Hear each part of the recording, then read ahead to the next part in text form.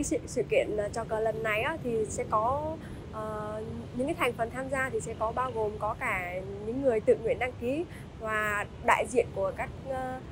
đoàn viên của chi đoàn sau khi mà nghe thông tin là uh, trường nhân văn tổ chức chào cờ vào sáng thứ hai thì mình cảm xúc của mình rất là hào hứng với với cái thụ, hào hứng với cái việc đó cho nên là mình đăng ký để đi sau một khoảng thời gian dài, đây là buổi thứ hai được tham gia vào nghi thức chào cờ của trường. Thầy cô và các bạn sinh viên đã bày tỏ niềm vui khi được tham gia vào nghi thức thiêng liêng này.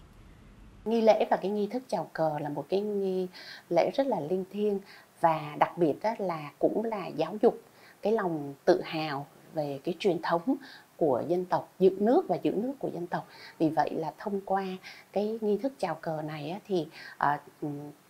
cái thành phần tham dự là toàn thể là viên chức người lao động giảng viên viên chức người lao động và các bạn đoàn viên sinh viên ờ, cùng tham dự. Đây là buổi thứ hai mà trường ờ, nhân văn có triển khai tổ chức hoạt động này nghi thức này. À, nhưng mà cảm giác của mình chỉ khác biệt duy nhất là khác biệt vì những con người tham gia thôi. Chứ về tinh thần về nghi thức về động lực về mục đích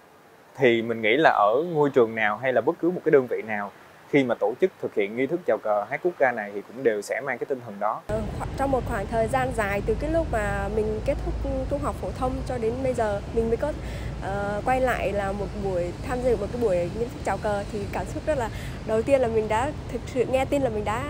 rất là hào hứng rồi mình cảm thấy cái giây phút mà nhìn thấy lá cờ trên lên của tổ quốc được uh, dâng lên thì mình cảm thấy rất là um, cảm xúc của mình rất là tự hào về đất nước của mình với lại uh, giây phút đó rất là thiêng liêng đối với mình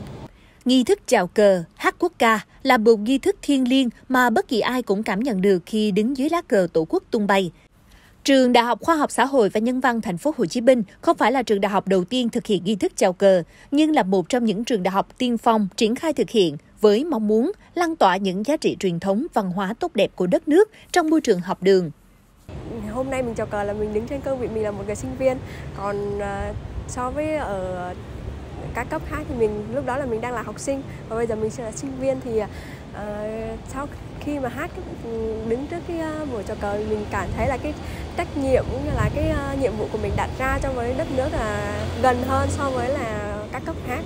Mà ở đây các bạn đối với các bạn sinh viên đó, thì cô nghĩ là sẽ lan tỏa theo cái tính chất là một cách tự nguyện tự giác. Đó và khi các bạn cảm thấy là à cái nghi thức chào cờ này rất là quan trọng. Cái nghi thức chào cờ này sẽ là giúp cho các bạn đó, là có những cái mà giá trị tốt như vậy thì các bạn sẽ là tự các bạn sẽ là uh, tham gia. Đó thì uh, bao giờ cũng vậy khi mà mình sẽ xây dựng gọi là cái văn hóa mà chào cờ thì khi mà đã xây dựng thành văn hóa thì nó sẽ hình thành một cách tự nguyện tự giác chứ không phải là mang tính chất là một cái thể thức hành chính nào cả.